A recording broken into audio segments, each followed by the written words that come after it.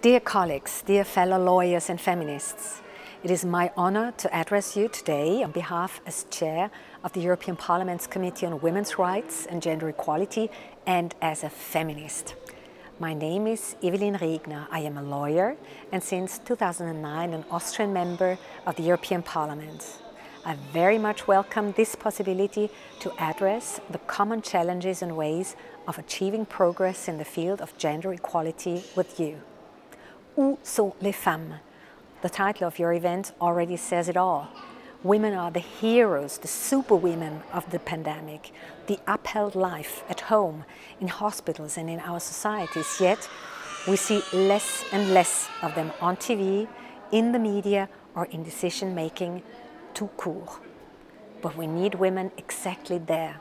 Empowering women means providing them with the necessary tools to become economically independent, to be represented equally across society and to play an equal role in all spheres of life. In short, for gender equality, it is crucial to partake in all decisions, especially those having an impact on our lives. And we already see that when this is done, everyone profits from it. The European Parliament therefore repeatedly called for ensuring full access of women to all levels and all areas of life and for actively promoting gender balance and equal representation at all levels of decision making. And here we, for example, keep on putting pressure on the Council of the European Union to unblock the Women on Boards Directive and ask for the introduction of gender balance requirements in electoral laws. And we lead by example. By now, in the European Parliament, nearly 40% of the parliamentarians are women. Of course, I want 50% at least. We make sure that these women are represented in all decision-making bodies, and the European Parliament recently adopted an ambitious gender action plan and roadmap which should allow for further progress towards achieving full equality. An important part of these efforts is making sure women can participate without harassment. We have implemented many measures already, but more has to be done. And in order for a new normal to be created, we need to address the remaining gaps and to set an example. Therefore, we as the Committee on Women's Rights and Gender Equality are asking for mandatory anti-harassment training for all members of the European Parliament and better protection of those affected by harassment of any kind.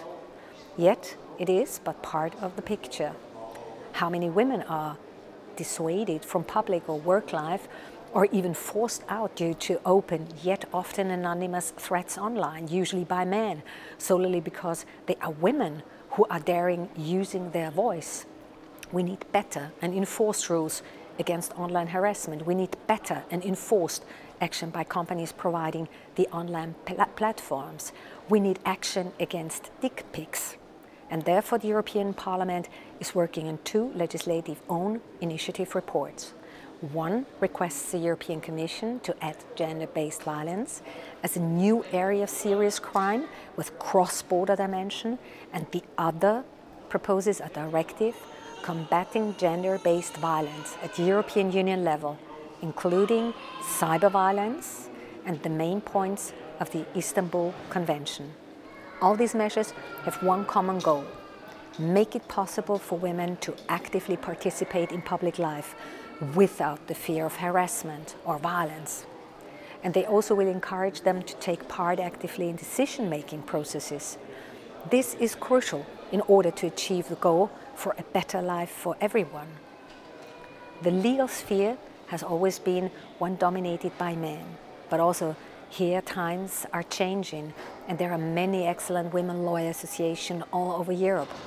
You are one of them and I want to thank you for changing the culture in the legal bubble, for working as lawyers to address inequalities and eliminate all forms of discrimination.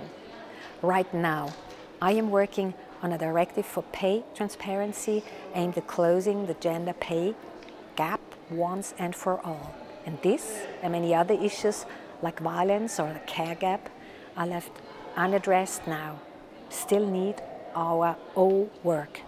Only together we can finally achieve gender equality and by that a better world for all of us. où sont les femmes Elles sont partout. Il faudra juste leur donner leur place.